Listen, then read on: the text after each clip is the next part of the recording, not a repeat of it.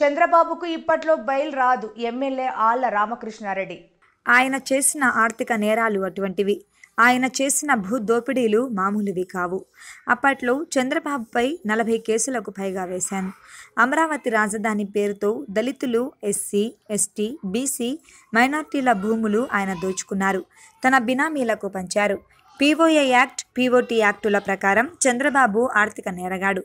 కాబట్టి బెయిల్ వచ్చే పరిస్థితి లేదు. ఎప్పుడు ఇస్తారు అని అంటే అది గౌరవ న్యాయస్థానాలు తీసుకునేటటువంటి నిర్ణయాలు.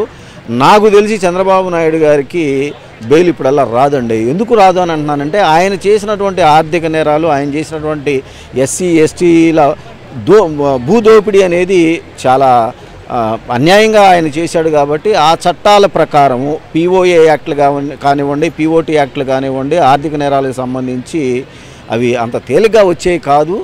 చట్టం ముందు అందరం సమానులని చెప్పి తెలిసి కూడా వాళ్ళు తెలుగుదేశం వాళ్ళు గందరగోళం చేయటం అనేది భావ్యం కాదు. న్యాయస్థానం ఏ నిర్ణయం తీసుకుంటే దానికి కట్టుబడి ఉండాల్సిందే అందరం కూడా.